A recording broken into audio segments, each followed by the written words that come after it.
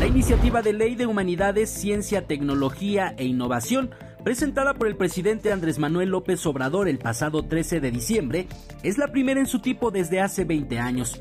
Parte de un exhaustivo análisis y crítica de la actual Ley de Ciencia y Tecnología, que dicho sea de paso, ha sufrido 11 reformas en las últimas dos décadas y no garantiza derechos inherentes como el del acceso a la ciencia.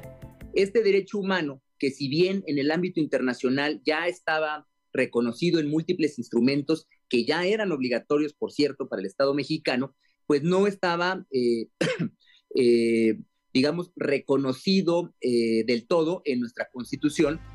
La nueva ley se integró tras la revisión de 59 propuestas que no habían sido tomadas en cuenta en su momento. En su conformación participaron los titulares de los 26 centros públicos de investigación, universidades públicas y privadas, académicos, investigadores, instituciones públicas y organismos sociales y privados. El resultado fue la ruptura de paradigmas.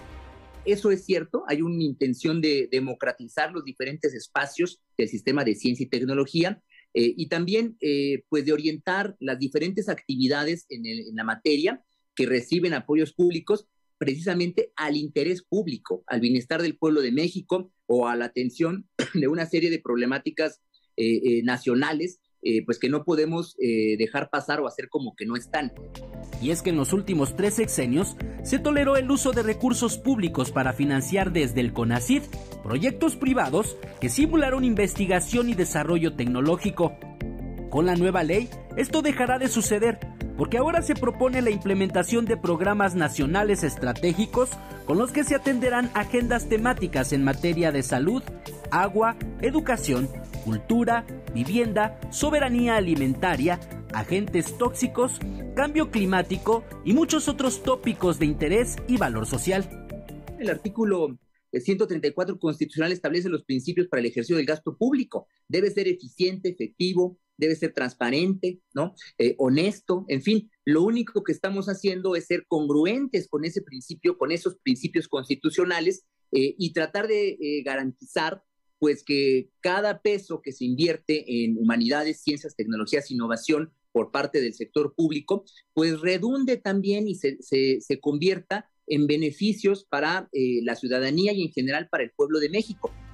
La iniciativa del Ejecutivo Federal también prohíbe la constitución de fideicomisos, porque durante décadas esta figura fue utilizada de manera arbitraria y opaca en su lugar, se propone que la principal fuente de financiamiento de las actividades de humanidades, ciencia, tecnología e innovación sea el presupuesto público autorizado desde la Cámara de Diputados.